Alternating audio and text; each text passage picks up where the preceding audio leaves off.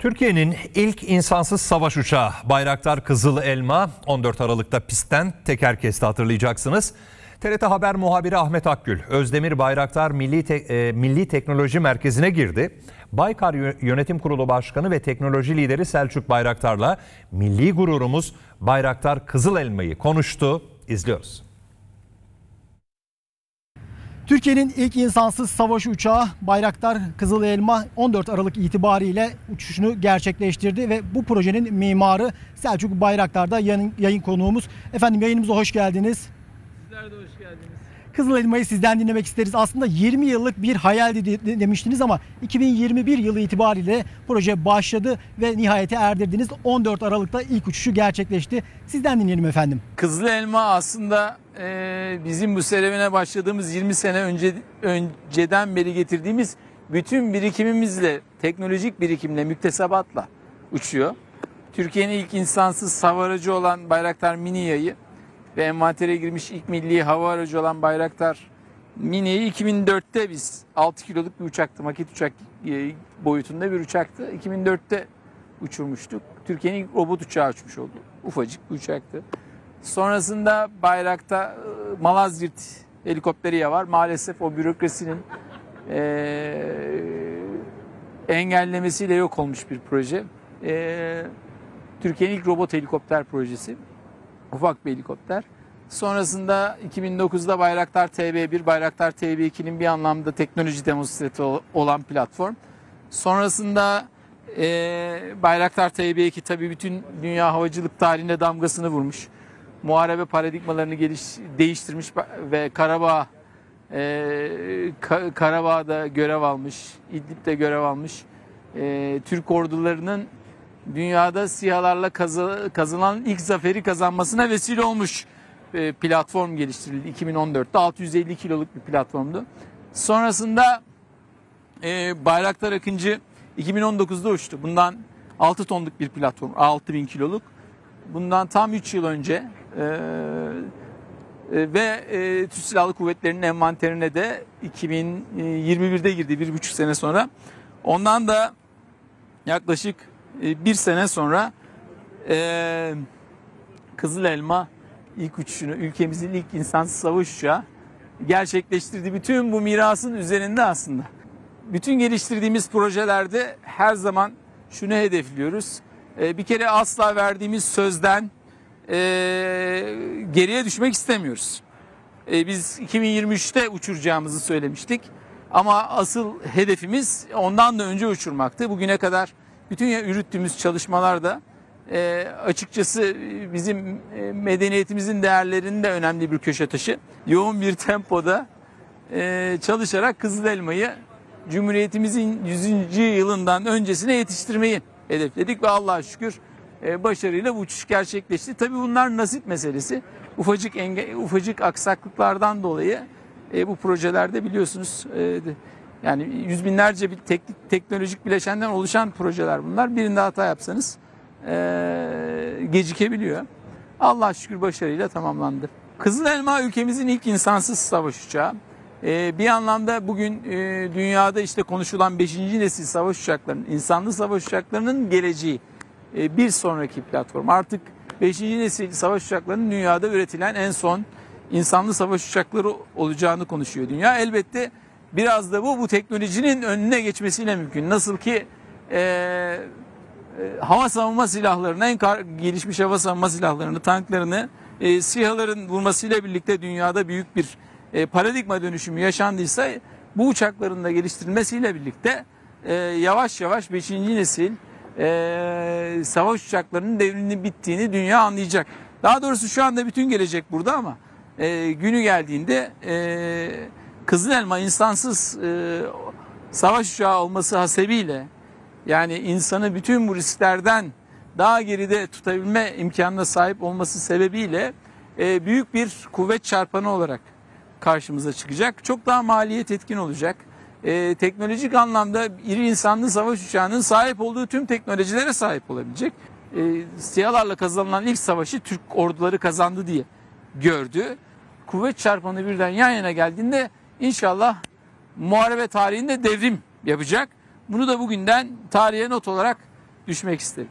Kızıl Elma e, insansız savaş uçağı olarak bu dünyaya ilk adımımız bizim. Bu yeni dünyanın kapılarını açtığı için kıymetliydi o uçuş. Yoksa daha yürüyecek çok yolumuz var.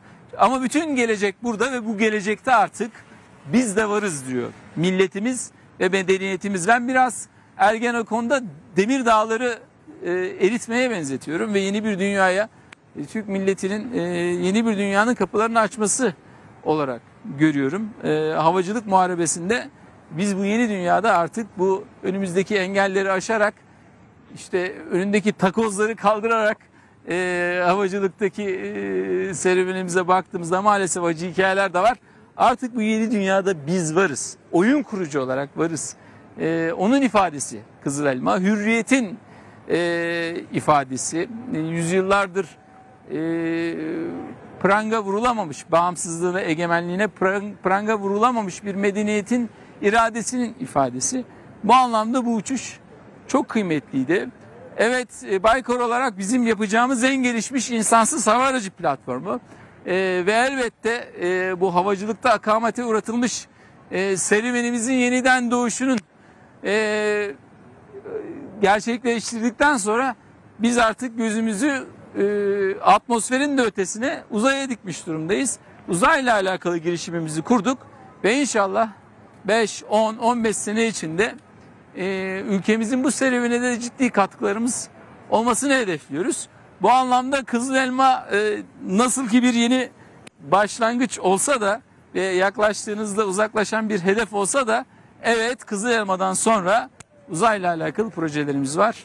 Elbette Kızıl Elma e, kısa pistli gemilere e, çok daha maliyet etkin olan e, ve büyük bir kuvvet çarpanı olacak gemilere e, inip kalkabilme kabiliyeti kazandırılacak. O şekilde tasarlanıyor. E, o kabiliyetiyle birlikte e, bütün bunlar tabii e, hepsi yan yana koyduğunuzda büyük bir kuvvet çarpanı oluşturuyor. Kızıl Elma da aynı şekilde e, muharebede e, bu kabiliyetiyle birlikte görev aldığında e, dünya muharebe tarihinde devrim yapacak. E, bunu da tarihe not olarak düşmek isterim. Bu kabiliyetin üzerinde çalışıyoruz e, şu anda ama tabii daha ilk uçuş.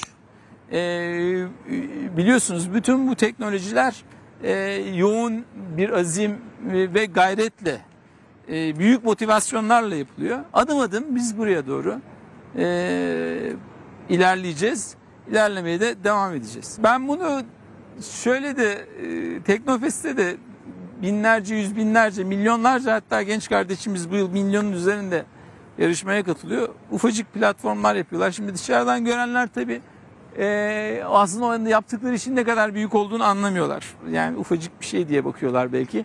Belki böyle bö- böylesine e, bir boyuta sahip hava aracı insanları daha fazla etkiliyor ama aslında e, çok farkı yok birbirinden. Yine bir takımla yapıyorsunuz. İşte belki 7 kişiyle 5 kişiyle yaptığınız işi 5000 kişiyle yapıyorsunuz. Aradaki fark o aslında burada e, yapılan işin niteliği olarak baktığınızda büyük bir fark yok. Heyecan anlamında da büyük bir fark yok. Anlam olarak da çok büyük bir fark yok. Ee, bu anlamda Kızıl Elma bizim o yaptığımız e, o mini Türkiye'nin ilk robot uçağı dediğimiz 6 kiloluk uçaktan e, daha zor değil. Veya daha önemli de değil. O çekirdeğin dost doğru olması önemliydi. Hangi yolla yaptığınız önemli. Dost doğru bir düsturla yapıyor olmanız önemli bunu. Asla ahlaksız yollara bulaşmadan yapıyor olmanız. Ki biz bu konuda e, bütün mücadelemiz açıkçası bürokraside de bununla oldu. E, Biz dedik inancımız gereği asla bu yollara tevessül, tevessül edemeyiz. Evet duvarlara toslayıp durdunuz ama e, en nihayetinde ısrarla e, özellikle babam da çok hassastı bu konuda. Biz de e, inancımız gereği e, hep başından beri e, rahmetli babamla bunu e, düstur bildik. Biz asla bu yollara girmeyeceğiz. O duvarlar yıkıldı. Evet zor oldu ama yıkıldı ama dost doğru bir yolda ilerlediniz ve bütün bunları neden yaptığınız aslında kıymetli olan yaptığınız işten çok. Evet bütün bunları biz e, medeniyetimizin adalet, merhamet ve iyi- iyilik değerinin daha güçlü çıkabilmesi için, milletimizin e, tam bağımsız ve güçlü olabilmesi için yaptık. E, ve elbette insanlığın iyiliğine olacak, e, insanlığın faydasına olacak şekilde geliştirmeyi hedefledik. Aslında Eserleri kıymetli kılan bunlar. Eserin büyüklüğü e, dediğiniz şey onun o ruhunuzdan kattığınız, yüreğinizden kattığınız şey o eseri kıymetli kılıyor.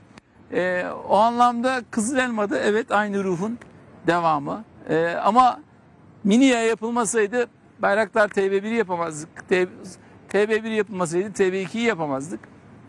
E, TB2 yapılamasaydı Akıncı'yı yapamazdık. Akıncı yapılabildiği için, yapabildiğimiz için Kızıl Elma'yı yapabildik ama hepsi e, aynı ruhu barındırıyor. Özellikle savunma sanayinde ama e, teknolojinin tüm diğer alanlarında da böyle. Bu teknolojiyi şayet kendiniz geliştirmiyorsanız e, bir kere e, en temelinde bütün teknolojilerin katma değere vakıf olamıyorsunuz. Savunma sanayini değerlendirdiğini, değerlendirdiğinizde ise e, kullanım hakkı bile neredeyse sizde olmuyor. Çünkü uzaktan dahi kitlenebiliyor bu teknolojiler biliyorsunuz. E, yani çok daha stratejik bir e, çok daha stratejik öneme sahip bir husustan mahrum kalıyorsunuz. O yüzden e, özellikle savunma sanayinin milli teknolojiyle geliştirmesi e, ulusların e, bağımsızlığı ve egemenliği açısından çok hayati. Diğer yanda teknolojiyi de e, şayet e, ki burada en değerli şey aslında dışarıda gövdeyi görüyorsunuz ama yüz binlerce satır yazılımdan bahsediyoruz. Milyonlarca satır hem yerde koşan hem e, havada koşan aslında en büyük kıymet o. E, bütün bu uçaklarda ve biz işte en ufağından başlayarak bugün e, işte 100 farklı bilgisayardan oluşan bir sistem Kızıl Elma. Bugün o bilgisayarları, elektronikleri, yazılımları yapabilir e, haldeyiz. 20 senelik mücadele sonucunda bu gerçekleşmiş oluyor. E, bu elbette çok hayati. Her yönden çok hayati. E, ve biz aslında mücadelemizin merkezinde de bu bağımsızlık duygusu yatıyor. E, bu teknolojiyi bizler geliştirmeyecek olsak bağımsız olmamız da mümkün değil, güçlü olmamız da mümkün değil, müreffeh olmamız da mümkün değil. Bu anlamda e, Türkiye'nin milli teknoloji hamlesindeki Kızıl Elması da sadece savunma sanayinde değil, savunma sanayinde büyük bir dönüşüm ve başarı hikayesi var. %85'lerdeydi bağımlılık oranı. Bugün %20'lere kadar düştü. Yani Türkiye %15 yerliyken %70'lere kadar, 75'lere kadar yerliliğini çıkardı. İşte Kızıl Elma'yı düşünecek olursanız %90'ların çok üzerinde bir yerlikten bahsediyoruz. Ve hatta artık e, şu hale geldi. E, işte insansız hava araçları hikayesine baktığımızda işte Baykar için bütün gelirlerinin %75'i yurt dışından 20 senelik mücadelesinde e, yapılan ihracatla 26 ülkesine ihraç edildi. Akıncı dahi 5 ülkeyle sözleşmesi imzalandı.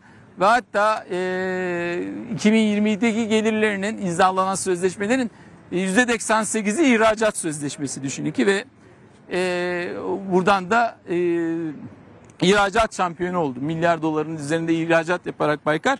Oradan gelen kaynaklarla işte Kızıl Elma'yı e, ülkemizin e, bağımsızlığının teminatı olacak.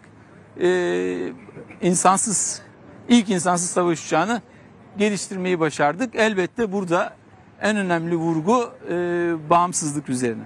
Tabii şu an geliştirme aşamasında birçok ülkeden e, birçok ülkeden birlikte geliştirelim e, teklifi işte programda beraber yürütelim teklifi var. İnşallah bunları da zamanı gelince değerlendireceğiz. Çok ben tekrardan teşekkür ediyorum. Yayın konuğumuz Baykar Yönetim Kurulu Başkanı ve Teknoloji Lideri Selçuk Bayraktar'dı diyelim ve sözü yeniden merkeze bırakalım.